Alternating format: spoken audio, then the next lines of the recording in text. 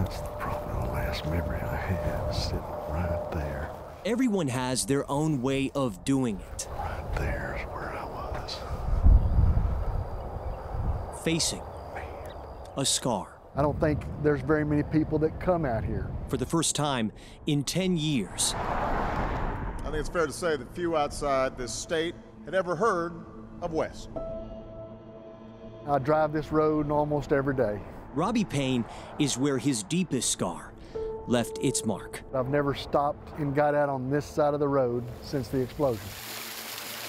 At 7:29 p.m., April 17, 2013, flames emerged from the West Fertilizer plant. They were already fighting it when I got there. Robbie, a volunteer fireman for West since 1986, This is my locker right here. among many who answered the call. Story I'm told. What followed I was blown out of my boots. Yeah. changed the town My memory cuts out before that. of less than 3,000 forever. How you doing? You okay? That day is one that hit me hard. I fell out of my recliner, boom, and I was on the floor. But the rest of West And I was way over here. remembers. See, that's Gail's husband. And I was like, okay, come on, we gotta go, we gotta go.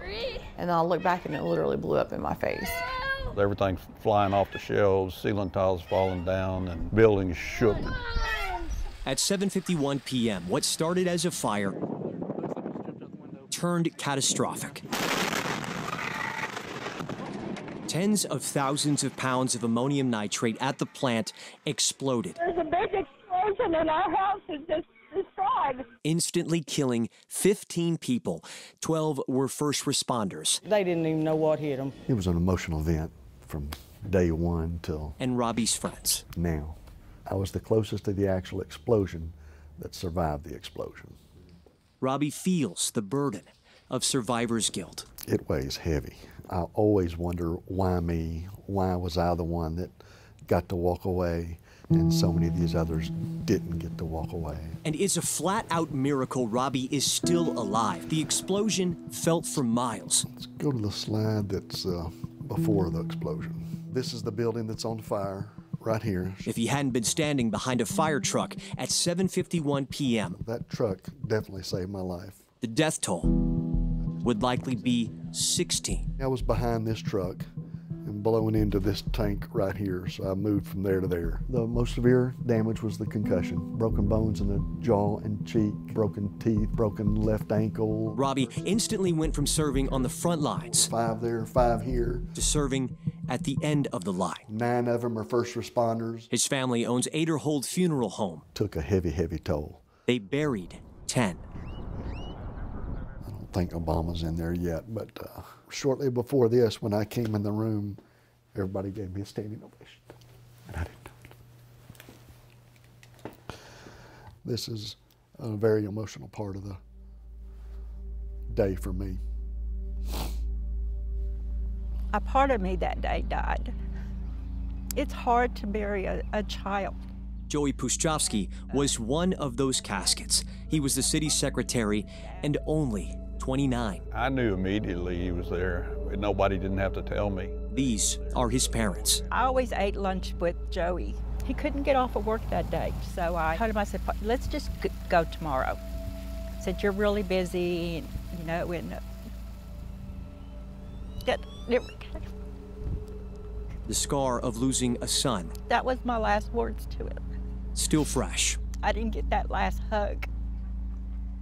We gather here in Texas to mourn the brave men who went through fire. The explosion leveled more than families. Hundreds of homes, schools, a nursing home, The park that was here before was destroyed. where Pustejovsky and his little boy Parker often played. Parker had the idea that he wanted to rebuild the park. That little boy, now in high school, he held two fundraisers at the age of four. Look at the kids playing. $83,000 raised both times to build this. Joey was born August the 3rd, 803. 1983. And 1983. He weighed eight pounds and three ounces, and he was born at 8:03 a.m. How do you explain that to someone? In God's world, there's no coincidences.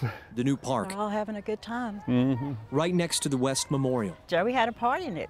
That's all I can say. This is our apartment, this one right above the, the white car. While Robbie and the Pustejovskys can hide their scars, We were just sitting down to dinner, and the Oh, sorry. Um, Misty Lambert faces hers in the mirror every day. Right. Anyways, um, we were just sitting down to dinner. And that's our refrigerator. The door got blown off. I'm standing in front of the window and it's like blowing up in my face. I was pinned to sheetrock. I was pinned underneath bricks. People walked by me and you heard, oh, go get a sheet. They thought I was dead. Nobody knew my name. Yeah. I became trauma patient Iris. I had a thousand staples and stitches. It's like that. That's not you. Uh, That is you. That's you. To this day, even 10 years later, There's a piece of glass in my throat and I can feel it. Lambert is still pulling glass You know it's glass because you can see the shininess. out of her skin. I'm stuck with these scars. I'm stuck with all these memories. Thank you for not giving up on me. And there's still days when you, I'll go look in the mirror and I'll just be like, I'll stand there and I will cry. It's probably something that I'll live with the rest of my life. That heartache. All these houses in this area were completely destroyed and rebuilt. Some of the houses are just gorgeous. The explosion, a consequence of poor ammonium nitrate storage practices per investigators. The cause of the fire still a mystery. Is everybody okay? We're okay, but my God, what has happened? A reward still offered for more information. We give thanks for the courage and the incredible grace of the people of West. Every truck is in honor of the men that we lost. Absolutely. Even though April 17th, 2013 is a scar, it is also much more. I get up every day and I show them what I'm made of. I don't want everybody just to forget these guys. Those people gave their lives for us. Well, think about it every single day. Think about these guys that we lost That's crazy, crazy, crazy. all the time. Goodness gracious. These are not strangers, these are neighbors.